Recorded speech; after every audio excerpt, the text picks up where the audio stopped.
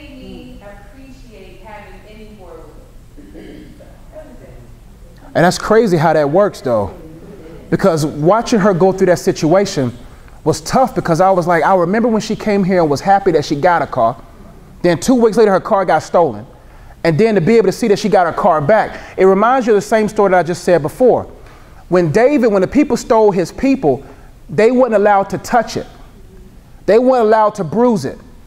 What was taken from you, God is still protecting, even if it's in the wrong hands, to teach you lessons along the way.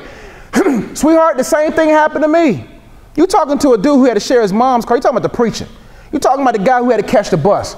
You talking to the guy who had to walk two miles to the bus stop, drive all the way downtown to take the bus transit all the way down to that, that church on the corner of Archdale, and then walk all the way down there and then go preach. And then have to look around, hope that the preacher get a ride home. That stuff will hurt your pride, but it has to hurt your pride. Your pride has to die in order for you to survive. Your pride has to die in order for you to progress. That's why God said, You want the humble road? Because no, He's going to say, You want to go the way you want to go? He said, No, the humble road is always the best road. Right now, I learned so much about myself because just because I'm a preacher don't mean my heart's good. I don't care, I don't care who sits before you. They still are work undone. And God oftentimes said, I'm going to allow you to go through this, not for me to find out what's in you, but for you to see what's inside of you. And now, from that turbulent situation, now we become better people. We have more empathy now.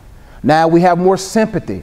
Now we have more care because we know for a fact, man, it's tough down there.